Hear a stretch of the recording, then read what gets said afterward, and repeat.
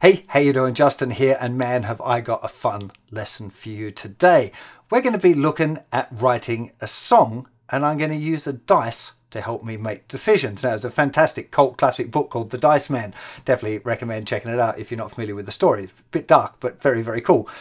So we're going to use a similar sort of an idea, but I'm going to use the songwriting skills that I think are really useful to know when you're a beginner writer in conjunction with the dice. So I'm going to use the, the this lesson to explain song form and how it works and some kind of basic principles.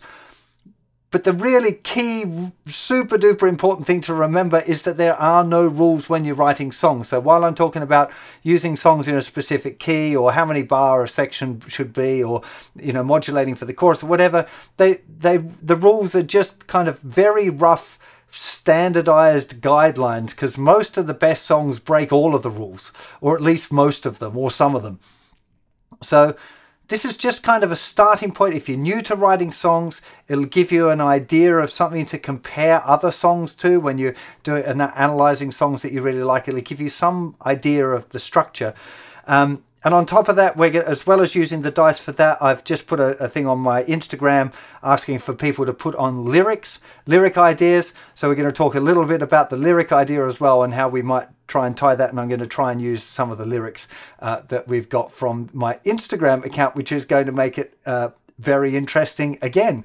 Um, but let's just see how it goes. This might be an unmitigated disaster. I don't know, to be honest. I, it's a fairly new kind of an idea, this one.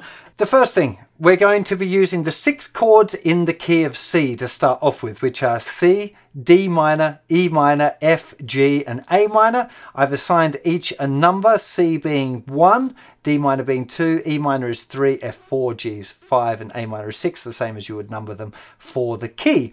Now to start off with, I'm going to have an 8 bar chord sequence. Okay, most chord progressions are either 4, 8, 12 or 16 bars, groups of 4, usually, again, not all the time, but just as a, as a fun starting point, we're going to have a verse that is 8 bars long, possibly 16 bars long, like twice as long. So I'm going to start on my page by just drawing up uh, a little 8 bar sequence here. Uh, this beautiful uh, tab paper, if you're looking for it, is uh, the exclusive Justin Guitar branded uh, manuscript paper, which will definitely help you write a better song. Not. Um, now we're going to start with a C chord as chord one, and that's I'm doing that to kind of make it a little bit simpler for the rest of it because now it doesn't really matter what the order of the chords are as long as we're coming back to that C chord as the first chord again, it's it's this is just for now as an exercise to make things super simple, but it, you wouldn't normally have to start on the one chord if you're writing a song. In fact, it might even be a bit twee to do that. So there's C. That's our first chord. Now let's just roll the dice. Chord five. So we've gone from C to a G, and I'll roll the dice again, and we got a two chord, so that's a D minor. I am going to stop it if we get two of the same in a row. Three chord, so that's E minor a good dice, giving us a nice range here. Back to the D minor, uh, the sixth chord to A minor. What would be awesome would be F, G, C here, but now we've got G, and what are we going to have for last? Six, back to the A minor again. Okay. Interesting chord progression. Let's have a listen to what that sounds like. So we'd have this.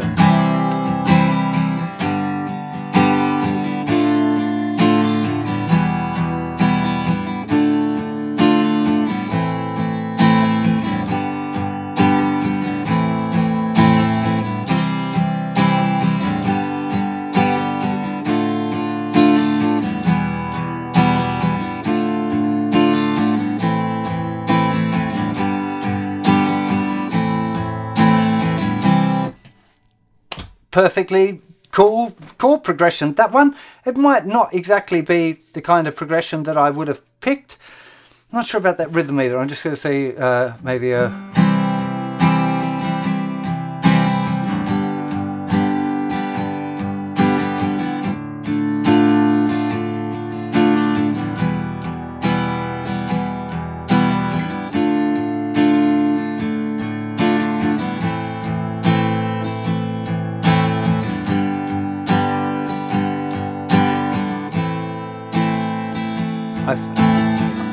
I like that feel better.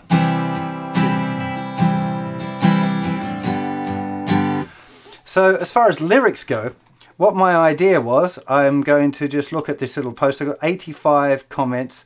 I'm going to put them in uh, order of newest first and then shimmy my way along the bottom. I'm not going to use any of the ones that were just uh, like comments or silly kind of silly things and then I'm going to try this is this might be really bad. I'm going to roll the dice and then count the comments up and then see uh, what we get to. Three. So one two three. But what if we don't have any coffee? Uh, but what if we don't have any coffee? That's our first line. And now I'll roll, the dice again. One it's the very next one Oh no, I like the smell of new chairs. Dude. Uh,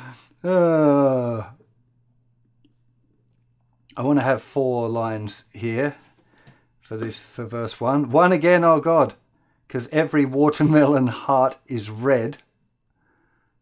God.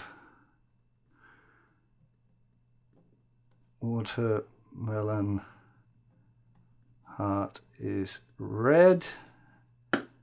Four. Uh, one, two, three, four. I've been trying for a year to write some good stuff. Okay, that doesn't count, but I'm going to start from there. Five from there. One, two, three, four, five. Through the fire and the flames we carry on. Fire and the flames we carry on. Okay, so now I've got to see if I can, I'm just going to be improvising this obviously, but, um, but what if we don't have any coffee? I like the smell of new chairs. Cause every watermelon heart is red.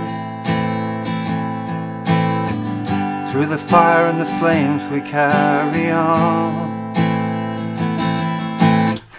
There we go. So we've got a verse. There's verse one. Now, first thing about songwriting is that normally the second verse will be exactly the same melody as the first verse. Now, this is going to be very difficult in this environment where I'm, I'm trying to use comments off uh, Instagram. But um, let's just see what happens if we uh, roll again. Number six. One, two, three, four, five, six. Oh, it's Tammy's one. But fate had other plans for me. But fate had other plans for me. At least it rhymes with coffee. One, love you like the ocean, my only needed poison. But I like the smell of new chairs. Uh, uh, See, this is it. Now, I'm, what I see, what I'm trying to do now, I should be explaining my process, is I'm looking for similar scan. So, but what if we don't have any coffee? It's 10 syllables. But fate had other plans for me. It's eight. This one's got just too many syllables. The other one, I like the smell of new chairs. Seven. I like the smell of new. Love you like the ocean, my only needed poi potions 13 so it's a little bit um, crazy there. Uh, the ocean my poison. The ocean my only poison. Okay that'll do. The ocean my only poison. Uh, two, one, uh, one, two. Your sun-kissed cheeks make my knees go weak, because uh, every watermelon heart is red. Your sun-kissed cheek make my knees go. Uh, uh, yeah, I should stick with it. Uh, your sun-kissed cheeks make my knees go. Weak. I'll try and add that in as well. Last one, three. One, two, three. Illuminating skies and luminous, illuminous skies and sad goodbyes. Okay, now it's a big one. So the verse is going to need the same sort of melody, and I might have to adjust some of the the uh, scan, the wording for that. Ideally, they want to be pretty much exactly the same melody. In which case, I would start with one verse and then I would try and sing through the other verses to follow exactly the melody. In this case, particularly with this kind of talky singing, and I'm not really following the chords exactly melodically, and I'm improvising it, it's a little difficult. But what is really key now is the chorus, and I, am I'm, I'm gonna I'm gonna have a couple of rolls here, depending on what it is, because I want a, a really good um, single line really for the for the choruses. Five, one, two, three, four, five. It's been two years since I saw your face. It makes no sense. Everything changed so fast. It's just far too long. One. You can't hear the beginning of silence, only its end. Okay, so I'm going to call it the end of silence. Pretty relevant right now, actually. And I'm going to do the chorus with just the one line. Now, you could, of course, have a chorus that is longer than that. I'm going to now pick the chords for the chorus. The chorus, we're just going to have a four bar sequence repeated around. So uh, the four bar sequence repeated four times, that's going to be the chorus. And then we've got a verse. Check out how this goes. Um, one, oh, we've got a C again. Three, E minor, one, C. Oh, that's kind of working pretty well. This would be great to have a G now. Oh, I know C again. I don't want a C, second C chord. 4F. Okay let's see where we've got to for our song now. Okay. But what if we don't have any coffee? I like the smell of new chairs. That should have been. Cause every watermelon heart is red. Through the fire and flames we carry on. Verse 2 But fate had other plans for me The ocean is my only poison, poison Your sun-kissed cheeks make my weak knees go weak. The luminous skies sad goodbyes. It's the end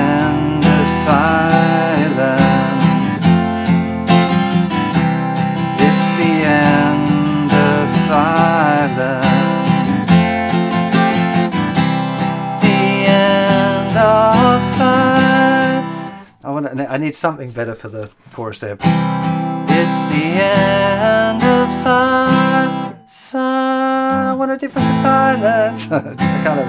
It's the end of silence.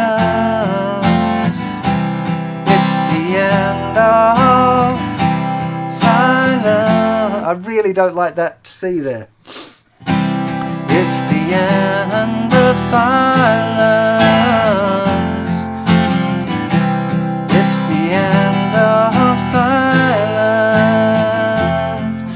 Just changing it to an A minor makes it loads better. So, sorry, Dice Man, I'm, I'm fiddling with the dice.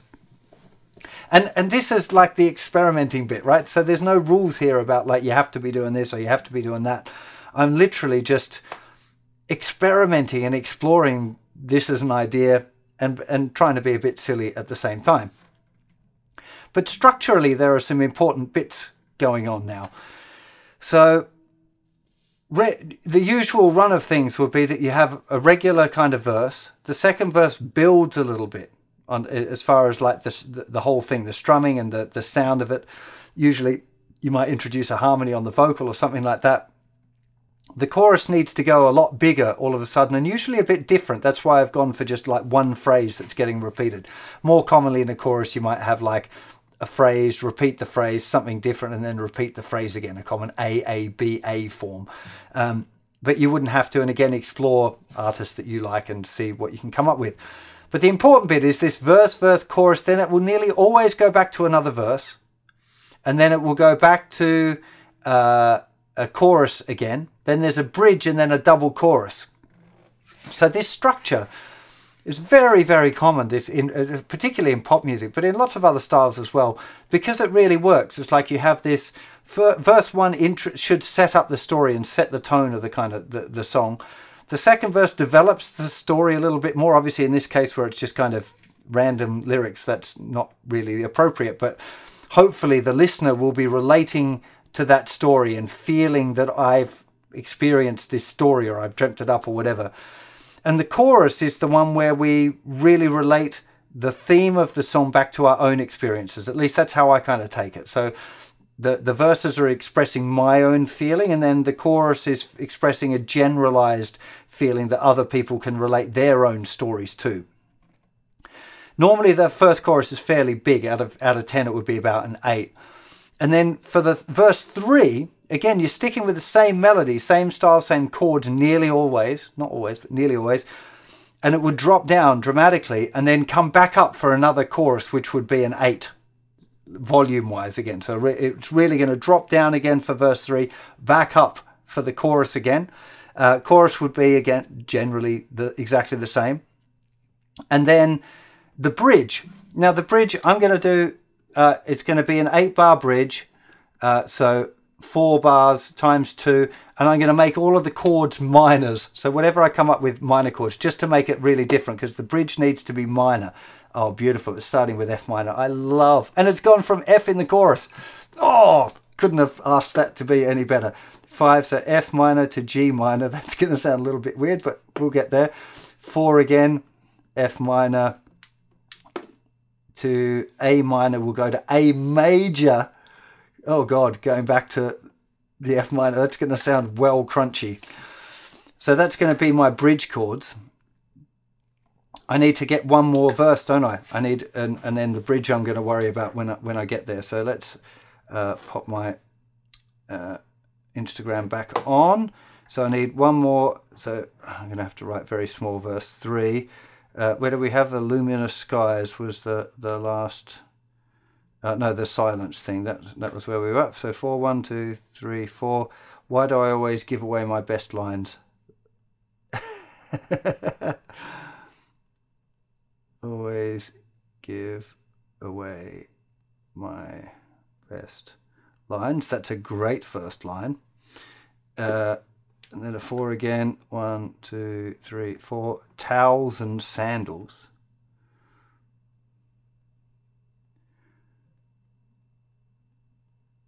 Towels and sandals, towns and sandals and shackles. I'm going to borrow that off the next thing just so that there's enough syllables. Three, one, two, three. Slap a naked chicken. Oh no, I don't want that. That might have some weird connotation. The next one. I'm tired of playing this game called love. Um, tired of playing this game called Love. And last one, five. One, two, three, four, five. I love my midnight toast. Uh, that's a bit silly. The sun whispers like a gentle scream. Okay, that relates to everything else. Uh, the sun whispers uh, gentle Scream. Okay, so in theory now I've got a whole song except for a bridge, uh, which is pretty interesting. Uh, so let's see. Let's let's try and play that whole thing through and see. I'll try and develop the form a little bit as well. So I'm going to keep verse one really quiet, then bring it up a little bit for verse two, a lot bigger for the chorus. Uh, in fact, for the chorus, I might go into. Um,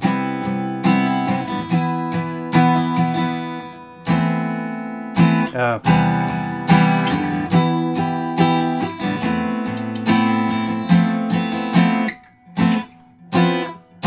Ja. Uh, that sounds bad. I'm just looking for something interesting to keep it.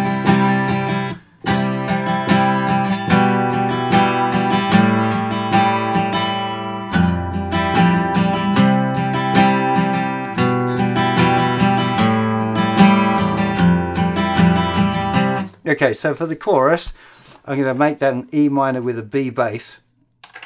And I'm going to use this little uh, structure, 3505. And then it, it's basically th this part of the chord here functions for the C and the E minor and as an A minor and an F kind of major 7 add 9 or something. It's just it's just a little trick to try and make it sound a little different there for the choruses. So uh, here we go. Uh, but what if we don't have any uh, what if we don't have any coffee? I like the smell of new chairs. No, I didn't really like that. Um, but what if we don't like? Mm. What if we don't have any coffee? I like the smell of new jazz. Cause every watermelon heart is red. Though the fire and flames we carry on fate had other plans for me. The ocean is my only poison. Your sun-kissed cheeks make my knees go weak. The luminous skies and sad goodbyes. The end of summer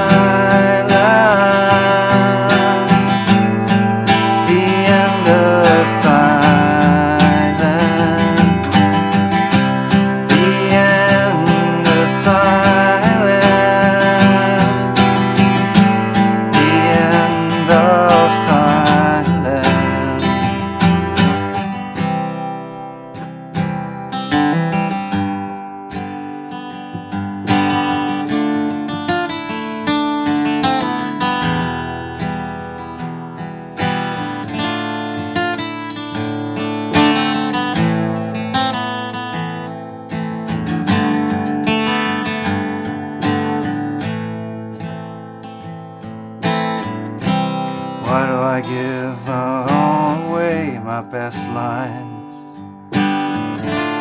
Towels, sandals and shackles. I'm tired of playing this game of love. The sun whispers a gentle scream. The end of silence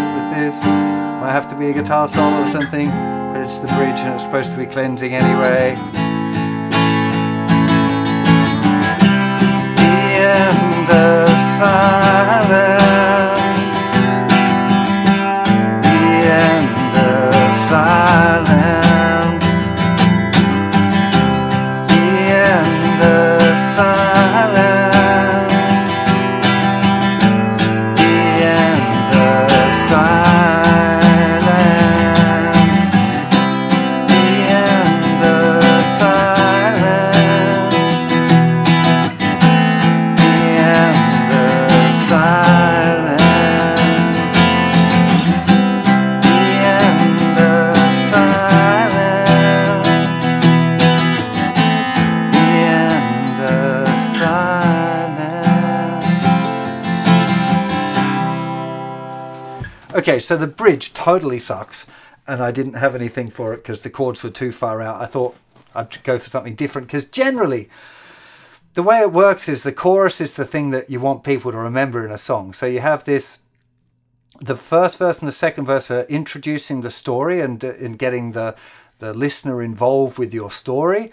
Then the chorus is the bit where they relate to their story to the chorus, and that's the hook. That's the bit that you want them singing when they haven't heard the song anymore. You have that big drop again. Often a good way of getting people's attention is suddenly to go real quiet. If you go quiet, people go, "Oh, what's he talking about?" You know, especially for kids. Great one for if the kids aren't paying attention. Start talking quietly enough suddenly try and figure out what's going on. So it gets their attention again. You give them a little bit more of the story, and then you got another chorus again. And they're now they've heard the chorus twice. And if the chorus is nice and simple, they're kind of they're hip with the chorus now. So uh, ideally, we want to give them as many choruses as we can. But if we keep going with the chorus now, it'll get a, a little bit too repetitive. So the idea of the bridge is to have this really drastic change in, in everything. Normally use different types of chords, a different rhythm, different orchestration, different range. Sometimes there's a key change. Whatever it is, to, it's kind of like a palate cleanser. If you go to like super posh restaurants, sometimes they'll give you a little thing to uh, cleanse your palate between courses so that what you ate in the first course doesn't affect your, uh, you know, the taste of the second course. So a little bit it's like that. And then you can hit them with a double chorus. Then after their their palate's been cleansed and they've forgotten about the chorus, you can hit them with a double one, a double chorus. It's also something I don't know if you've noticed advertising people do it. They'll give you like a little snippet of an ad and then there'll be a different ad and then it'll come back for that first ads but like a longer version. It's, it's definitely a way to get people involved with a hook is to give them a little bit of something then have something completely different and then you know a bigger dose of that thing. So this kind of song structure as well you know when you think of it in terms of, of, of, dynamics as well where you've got verse one here you know quite quiet let's say a three then the second verse which is about a five and then you've got an eight for the first chorus and it drops down again for a three for verse three then it's back up to an eight for the uh, for the chorus, then the bridge can either go up to a 10 or down to a 1, like some extreme away from the chorus, and then you back up to the for 10 for those last two choruses. You've got these beautiful changes of dynamic as well, which really help keep people engaged. It's often uh, in my experience with songwriters, that's one of the things that people don't pay attention to is the use of dynamics, um, because it's a, it is a really engaging part of, of music. Um, you know, listen to Nirvana or so, you know, any of the great writers. Now that now that we've I've gone through and I've talked a bit about this structure, the verse, verse, chorus, verse, chorus, bridge, chorus, chorus, and I've talked a bit about the dynamics and how they how they build and the repetition between the verses that the verses should have the same melody, which this didn't because of my weird idea of using Instagram comments. But the um, if you if you can compare that uh, that basic song form structure to songs that you love, you'll learn a lot about writing and what sort of writer you might like to be. Uh, everyone is a little different, and if you really like country, then your songs forms are going to be a little bit more straight. You know, much more common chord sequences that get used a lot more often. You know, if you want to be a strict pop writer, you definitely need to get hit with the the one five six four chord progression for a chorus, for example. Uh, there are things like a pre-chorus. So often in pop, you have a thing called a pop stop, where it, in in the verse you have this little kind of tag on the end of the second verse where the music goes dead quiet before it starts with the chorus really big. There are these little techniques, and they're not. I don't think that they're wrong to think of them as too formulaic, although formula in songwriting isn't, in my opinion, the best thing. But there are times where that sort of writing is what's required. Uh, and you need to find, you know, for me, the, the, the, the biggest lesson that I, I took, I can't remember where I read it, was in a, a book on songwriting, was I wrote down the 10 songs that affected me the most. What songs were the most important songs for me personally? Uh, and then I analysed the hell out of them. I really just looked at everything. I looked at, I really analysed the words. I did deep diving. What do the words mean? How did, uh, you know, I looked at things like similes and metaphors and alliteration and how they were using the language, where it was specific, where it was general. Uh, I, I did a lot of study into the dynamic, you know, thing. This, you know, where where it gets loud, where it gets quiet, the instrumentation, the, you know, the harmonies always coming in in the second verse kind of stuff. You know, they're there are little tricks where you know, I'm just seeing Green Day as well were one of those bands where I start. Their the the formulas in their writing are really cleverly done, you know, and and and it makes for. I wouldn't be scared of the studying the formula and stuff because nearly all of the great writers that I've ever met or or read you know biographies with or whatever have done that sort of study you know like maybe it's not like too it shouldn't be too mathsy but just really trying to I talk about the essence of a song. So I'm trying to find the essence of those songs and how it works and how, and why why is it that I like that essence of that song and how can I use that kind of those cultivation techniques. Um, for me, I'm kind of drifting off topic a little bit here, but for me, songwriting is about finding seeds. And a seed could be a guitar riff, or it could be a lyric line, or it could be a chord progression. It could be anything. I just need some sort of seed that's inspiring me to grow a song from it. Uh, and then by learning tools of the craft of writing will help you grow your seed better. And as you get more experienced and you practice it more, you'll learn more about different seeds and the way you have to treat them to grow them into a successful song or a song that you like. Um, and I definitely think that you know if you're a beginner guitar player, a really really great thing is to just get into writing songs, and and they're likely to be rubbish. Like I've only probably written a, a dozen songs that I actually really like that you know in my life, and I must have written 150 or 200 maybe more songs. Uh, and a lot of them, especially the the ones I started writing, are absolutely embarrassingly atrocious, you know, and like really awful, terrible lyrics, really cheesy and twee, and just like awful, like boring chord progressions, bad arrangements, too far too long, you know but that's the idea is that you've got to write those songs so that you you get better you know you build up your songwriting muscle and, and and get better at it. And i think the sooner you start and the sooner you lose the fear of it and you can see just through this you know i i, I did a, a super exaggerated version of randomness because of course when you're doing it for real you're trying to find something new you're looking for creative things and i did one change there where i changed that i think it was a c to an a minor or something because i just was like this one isn't working so it's okay to do that. In fact, it's good to do that. You know, and and you shouldn't be afraid of any attempt at writing and just do it, have fun, and enjoy the process. Uh, I hope you enjoyed this uh, attempt at writing a song, and thank you for to everyone who participated on the uh, uh on the Instagram post offering me some lyrics. And uh, yeah, go and write your own song. If you write your own song, drop me a link in the description on the website and uh, I'll try and go and check it out. You know, link to YouTube or something. Don't email me the MP3 so because my email box gets too full as it is. Um, yeah, I really hope you enjoyed this. If you're over on YouTube, uh, please hit that subscribe button and the like button. I really appreciate the support. Thank you very much. Uh, there'll be a link to the website where you'll find the whole of my beginner's course and other links on songwriting and other stuff as well. You take care of yourselves and each other. Bye bye.